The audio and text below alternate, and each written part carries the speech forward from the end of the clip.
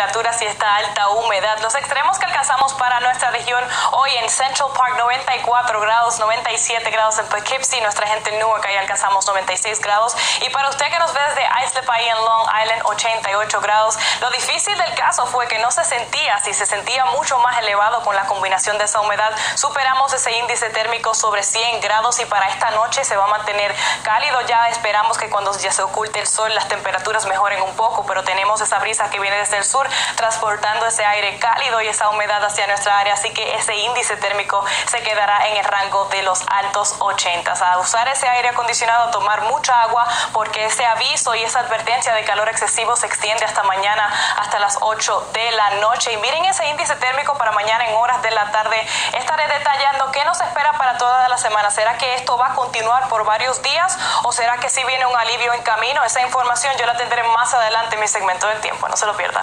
Rosarina, paso contigo. Gracias. La información la tiene la autoridad en el tiempo, nuestra Tairi. No, a Tairi, para mañana mm, la cosa se pone fuerte.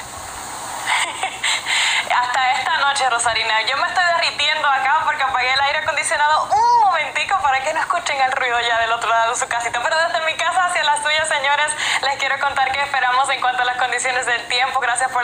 Con nosotros. Es fin de semana. Y sí, estoy en el fin de semana. Usualmente estoy de lunes a viernes, pero estoy visitando aquí porque estoy cubriendo a mi compañera Rangel. Vámonos directamente a hablar de las condiciones actuales. Vamos a tener una...